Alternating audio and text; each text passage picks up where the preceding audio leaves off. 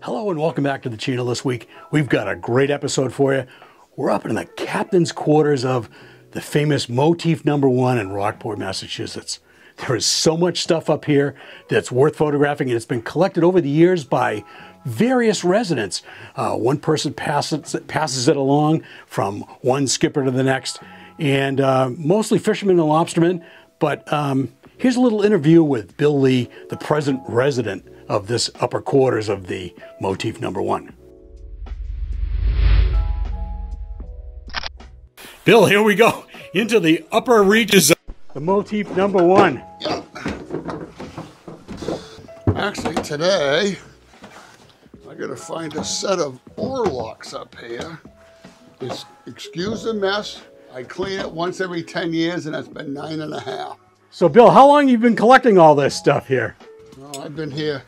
I had a stall downstairs for oh 30 years, 35 years. I've been up here for 10 or 12 years. I took um, Jack Burbank was up here, and when he um, retired and moved out, he left his stuff, and I put my stuff behind it. And when I retire, which is one of these days, and I move on, the next guy can put his stuff on top of this stuff. I don't think we'd ever get it out of here. Oh, Just wow. too much stuff. Boy, there's some really neat stuff to photograph. Yeah, some guys want to come up here and do a yard sale. I don't have time for that. Not- And there's a story with everything. Not everything up here is mine. Other people have brought nifty stuff up and put it in storage for the fun of it. So, but Bobby Hebb, who sang Sunny, once played that sax up there. The Belcom of a boat I salvaged. Larry Martin did the painting in the car corner. Steve Olet gave me this boat fender. Steve Olet's wife gave me the brigantine. It was in their house. Um, Bill Cronin gave me the state flag up there. You could sit here for a week telling me about this stuff. I've had friends that come up here all the time with me, and they said, "I just saw something I've never seen before." so it happens all the time. Just something you get used to. Yeah. But there's everything that's painting up there in the corner. That's from um, I forgot the name of the painter. That's a very famous painter who did that. His paintings are worth a fortune. Twice I've been asked when people do painting appraisals to come up and look at the painting because that is one of his original paintings. If it was in good condition, it'd be worth a fortune. And everybody says, oh, you should try to save it. No, Jack Burbank left that behind, and I'm not touching anything. That was his. I'll pass it to the next guy. Over here in this wall, those are all friends that have passed away that have been up here. I'm a memorial wall. Hate to have it, but it is, Yeah. you know. And I got a good view of the harbor out of here, and You sure do. it's a great place um, to do a project. Uh, have a cup of coffee in the morning with a donut. Um, and every once in a while, um, Mark Sheldon was up here the other day looking for something for his sailboat. He found it and he left with a smile on his face. um, people bring stuff in, you just leave it. Uh, oh, this Kontiki thing right here. It was at the bottom of the stairs one day. I don't know who left it, but I brought it up here. Just another piece of fun stuff. So, but everything got here somehow. I mean, there's stuff left over from Jack the Eagle and the starfish up there, for instance.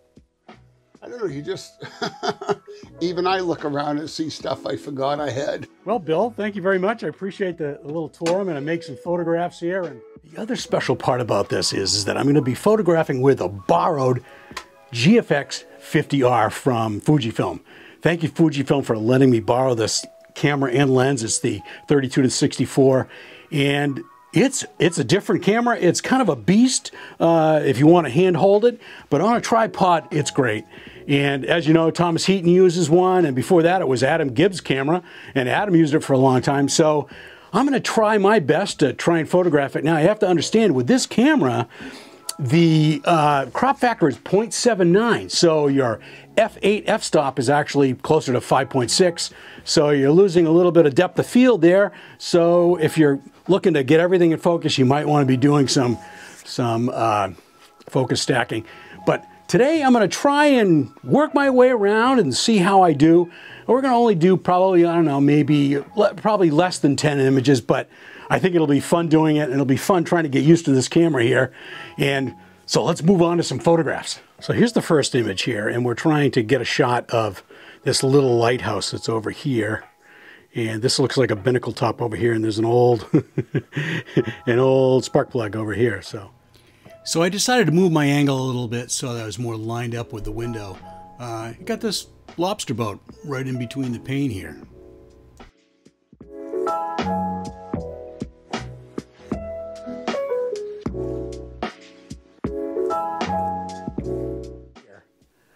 And what I'm doing is, is I'm, focus.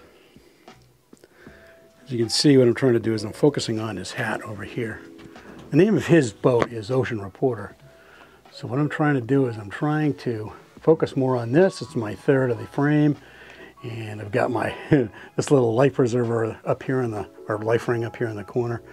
Uh, so you know, I didn't even notice the rounds of ammunition there. It looks like 50 cal. Uh, I'm sure they're not live, but who knows?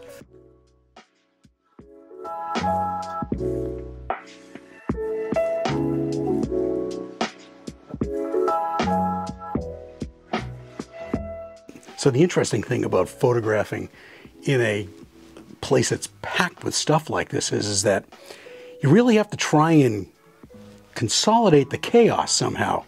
So unfortunately, this lens is either going to give you a wide angle view like a 25, or it goes from like full frame like a 25 to 52 or something like that.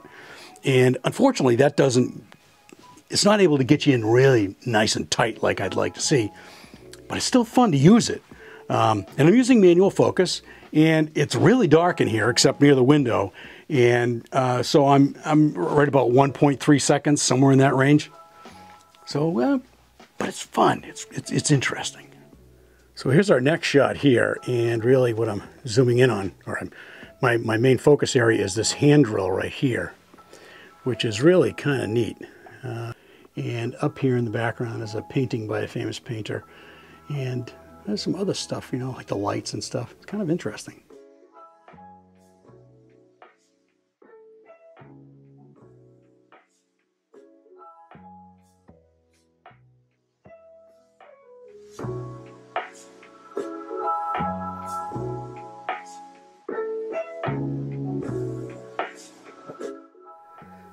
Now this next shot here, I'm really trying to work on just focusing in this area here and the buoy in the background. Uh, so we'll see how this works. Um, the window, I think I can live with that. I can maybe burn that in a little bit. We'll see what happens.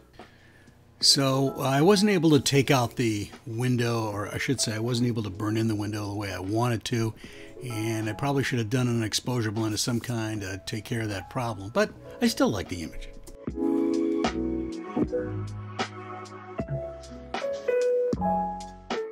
So the last one was a vertical, and it's really kind of interesting. You got a buoy, it's got a parrot in it, and also there's a lot of different neat stuff in here.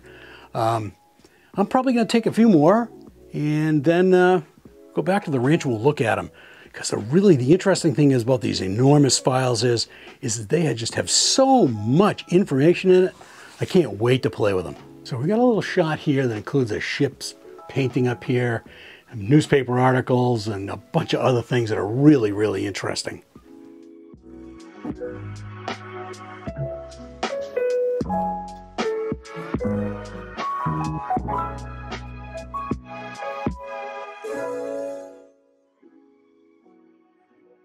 Sorry to not have any video with these next few images, but the uh, battery in my XH1 died.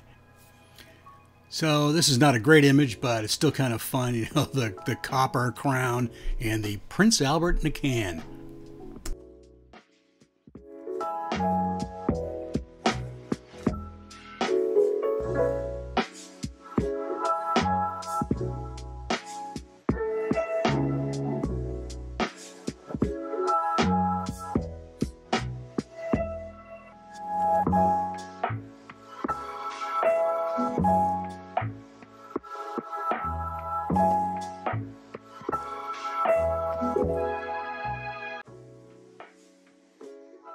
Thought this image was kind of neat with this plastic nautical scene, you know, with the map and the, the compass and the light, and it just was kind of cool.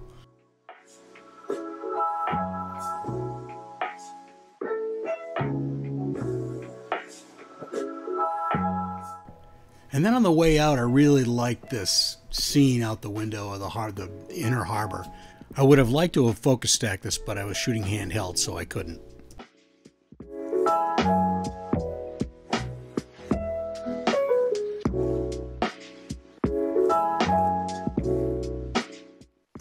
What a great time we had over here at Bill Lee's uh, captain's quarters above the motif number one, the famous motif number one in Rockport. I had a really great time photographing some of the really interesting and weird things here in this, this space. Hey, if you really like this stuff that I'm photographing, please give me a like and comment and uh, maybe even subscribe to the channel. That would be great. And if you get a chance, check out capeannphototours.com. And remember, it's not what you photograph, it's how you photograph it, which is evident today. And that's it for this week, and we'll catch you next time.